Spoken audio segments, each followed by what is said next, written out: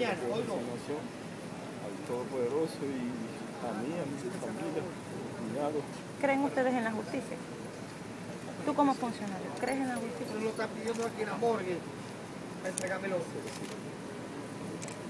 Lamentablemente nos atan las ¿Quién manos nosotros a merced de los choros. Los que mandan aquí son los choros, no nosotros. ¿Cómo es tu nombre? Oficial agregado Alvin Méndez. Muchas gracias, Alvin. el lugar preciso.